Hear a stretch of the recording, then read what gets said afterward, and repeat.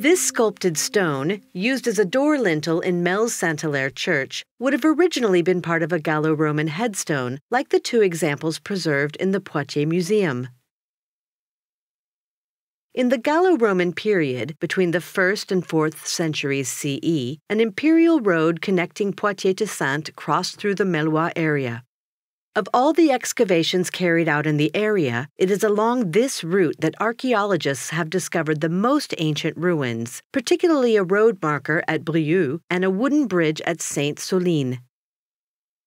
In Rom, they excavated several sections of a Gallo Roman conurbation. Rauranum was a stopover town for merchants and all types of travelers who followed the imperial road. At one of the main crossroads, they could stop and eat in the commercial area. This large building with Tuscan columns and decorated pillars housed several shops and artisans' boutiques, which likely included a butcher.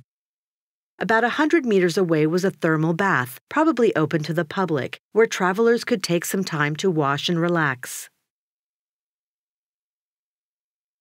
On the other side of the Imperial Road, the artisanal neighborhood was dedicated to working in iron and bronze, in addition to bone and leather.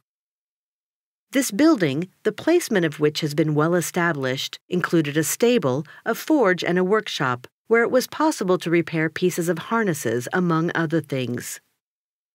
To the south of the town were several temples called Phanum for honoring the gods. We also know that the Latin poet Ausonius, private tutor to future Emperor Gratian, had a residence in Rauranum. Although the ruins of Rauranum are buried today, the ancient objects discovered on the site are on display in the Rauranum Museum in Rom, with an explanation of day to day life in the area during the Gallo Roman period. In an odd turn of history, the residents of Rom are now known as Romains, Romans.